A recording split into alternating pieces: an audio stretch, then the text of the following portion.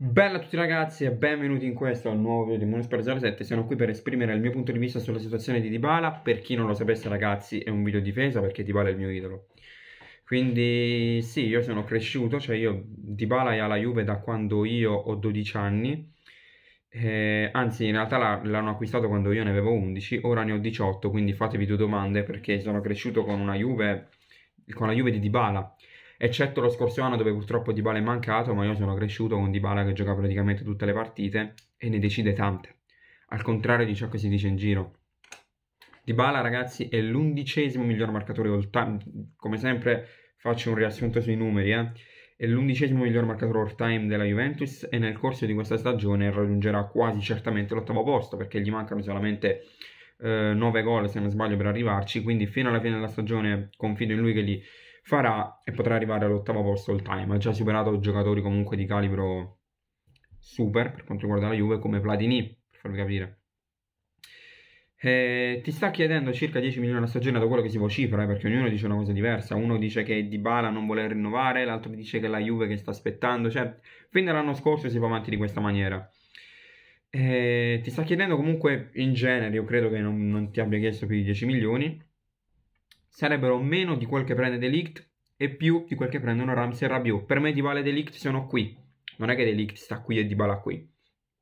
Questo è chiaro. Delict è più giovane di Dybala, quindi di regola dovrebbe anche prendere di meno ed è stato pagato anche meno di Dybala. Quindi non capisco alcuni punti di vista. Però comunque De- ti sta chiedendo di prendere meno di Delict, che ha la Juve da 4 anni in meno di Dybala, perché Delict questo è il terzo anno, mentre per Dybala è il settimo e ti sta chiedendo di prendere qualcosina in più di Ramsey e Rabiot che giocano una partita ogni due, quando giocano giocano male, Ramsey è un giocatore in uscita e ha soltanto rubato due anni e mezzo lo stipendio, quindi eh, io non capisco perché si sta offrendo questa cosa al ribasso, sempre se è vero questa cosa, eh, perché io non... Posso darsi pure che l'accordo già c'è poi a febbraio nero su bianco, perché se ora si prende Vlaovic e si cede di Bala abbiamo fatto un bel buco nell'acqua ragazzi su questo siamo chiari, perché dietro Vlaovic non ci puoi mettere Kuluseschi o Bernardeschi, con tutto il rispetto per questi due giocatori. Si dice che Dybala, soprattutto in Champions, non abbia deciso dei match importanti. Allora, Dybala questo è il settimo anno alla Juventus, chiaramente nella fase a gironi ora non è che potesse fare assai perché in quattro partite su sei se non ero non c'è stato per infortunio, quindi quelle partite che c'è stato ti ha segnato tre gol in due partite con lo Zenit, quindi mh, mm, uno scandalo non lo vedo, ha fatto tre gol in due partite con lo Zenit, ha fatto anche un assist a Murata, quindi insomma ha fatto il suo quest'anno in Champions. Però i precedenti sei anni ti aspetti che almeno un big match lo decida, perché ogni anno hai circa due big match in Champions League, due, tre. Per big match parlo come Bayern Monaco, United, eccetera, eccetera allora, con Lione non ha potuto fare niente chiaramente perché eh, era infortunato. Però ha deciso Juventus-Barcellona con una doppietta. Juventus-Atletico Madrid quando c'era Sarri ha fatto il gol del1-0 su punizione, una punizione magistrale, quindi con l'Atletico Madrid. Um, Manchester United-Juventus 0-1 l'ha decisa Di Bala ragazzi. In trasferta con il Manchester United abbiamo vinto 0-1, ha segnato Di Bala. Siamo a tre big match. Tottenham-Juve perché ti ha fatto il gol che poi ti, ha, ti avrebbe qualificato. Tottenham Juve 1-2 con il gol di Dybala che poi ti ha portato alla qualificazione stagione 17-18. Juventus Bayern Monaco nella stagione 15-16 ti ha fatto il gol che ha riaperto il match.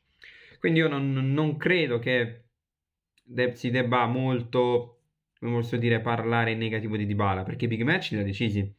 Inoltre è stato protagonista con una tripletta allo Young Boys nella stagione 18-19 e di una doppietta allo Sporting Lisbona una doppietta allo Sporting Lisbona, ragazzi.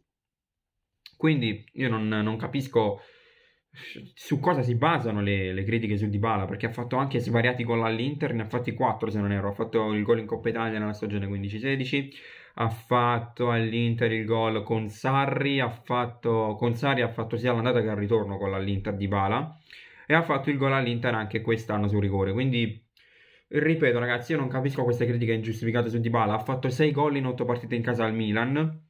Ha fatto doppietta al Napoli in Coppa Italia. E quindi non, non lo so, io veramente non, non, capisco a cosa si diano queste, tutte queste critiche per Paolo Di Bala, perché i numeri sono assolutamente dalla tua parte. Anche perché se poi non vuoi rinnovare Di Bala e prendi Vlaovic, perché dici non hai i soldi, Di Bala devi accettare di prendere meno perché è un periodo complicato per la società e poi prende Vlaovic, vuol dire che i soldi ce li ha.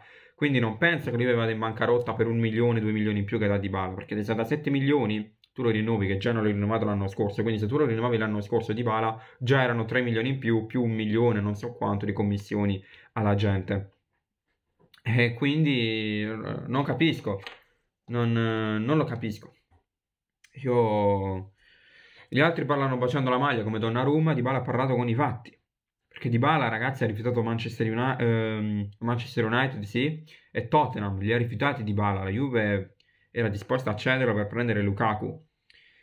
Poi, certo, ci sono anche da limare alcune critiche alla società, perché la società comunque nei confronti di Dybala gli ha dato la numero 10 e la fascia da capitano, perché una partita su due, ovvero quando manca Chiellini, il capitano è Dybala. E quindi diciamo che gli ha consegnato la fascia da capitano futura, quindi dei riconoscimenti da parte della Juve per Dybala ci sono stati. Ma un giocatore, voi pensate che nel tempo libero magari si sta a fare le seghe, un giocatore vede anche qualche commento su Instagram, e vedere un 30% dei tifosi della Juve che vuole Dybala fuori, un 30% è un'elevata percentuale secondo il punto di vista, e Dybala la la vede, perché sotto i suoi post tutti gli dicono bravo, bravo, bravo, rimani, rimani, rimani, ma sotto i post magari di altre pagine c'è sempre un 30-40% di tifosi che va contro Di Bala e eh, sta sempre infortunato e così e colà. Non capisco veramente da dove vengono questi. Io ho provato a riassumermi in numeri il perché Di Bala deve rimanere. Anche se sono cose che trovate in giro molto per YouTube Italia, sono sempre per contenuti magari un po' controcorrenti. Però ragazzi, Paolo Di Bala deve rimanere, perché se, me, se metti dentro Vlaovic e fuori Di Bala hai fatto un bel buco nell'acqua, cara Juventus, perché dietro Vlaovic chi cazzo ci vuoi mettere? Chi cazzo ci vuoi mettere? Con questo ragazzi il video termina qui, spero che il video vi sia piaciuto, speriamo che Di Bala rimanga. Se vi è piaciuto il video lasciate mi piace, caso contrario dislike, commenta se siete d'accordo, se siete d'accordo con me. Se non è ancora fatto iscrivetevi al canale, in descrizione link per seguirmi su Instagram. Da Manusport07 è tutto e noi ci vediamo in un prossimo video, magari con il rinnovo di Dybala.